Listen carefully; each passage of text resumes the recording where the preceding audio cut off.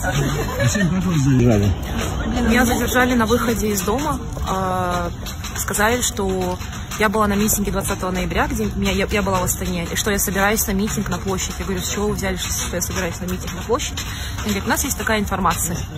Вот. И задержали, привезли сюда, обыскали, а, начали допрашивать по поводу того, ну, ДВК, естественно, по поводу моего отношения к тому, что происходит, интересуюсь ли я политикой, почему я пишу про политику, что я думаю про Тукаева.